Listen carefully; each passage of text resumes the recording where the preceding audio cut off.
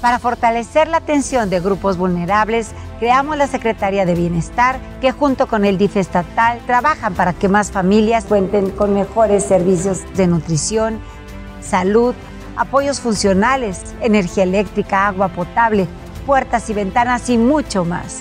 Creamos 60 procuradurías municipales, avanzamos para que más beneficios lleguen a más familias de Tlaxcala. Primer informe, Lorena Cuellar, Transformación y Bienestar que se siente.